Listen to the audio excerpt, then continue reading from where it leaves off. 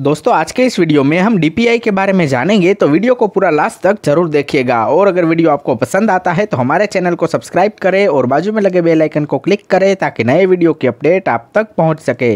तो हेलो दोस्तों, मेरा नाम है एजाज और आज की इस वीडियो में हम जानेंगे कि डीपीआई क्या होता है। लेकिन इससे पहले आप लोग मुझे नीचे कमेंट करके इतना ज़रूर बताइए कि आप लोग कौन से राज्य में रहते हो। अब जान लेते हैं कि डीपीआई क्या है। तो डीपीआई का पूरा नाम होता है डॉट्स पर इंच और हिंदी में इसे बिंदु प्रति इंच भी कहते हैं। डीपीआई का इस्तेमाल डिजिटल प्रिंट और कंप्यूटर में फ़ोटो की स्पष्टता को मापने के लिए किया जाता है। जिस फ़ोटो में जितने ज़्यादा डॉट्स पर इंच होंगे, वो फ़ोटो उतने ही स्पष्ट दिखेगी।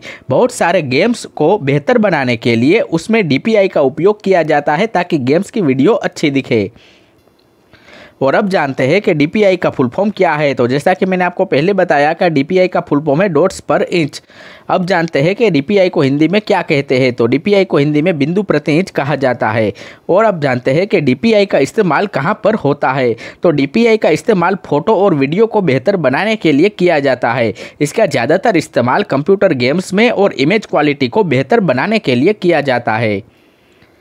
दोस्तों, आज के इस वीडियो में इतना ही। वीडियो खत्म करने से पहले मैं आप लोगों को बता दूँ कि अब हमने हमारी वेबसाइट भी लॉन्च कर दी है। तो अगर आप गूगल पे जाओगे, सर्च करोगे, एजाज कलाडिया तो आपके सामने हमारी वेबसाइट आ जाएगी।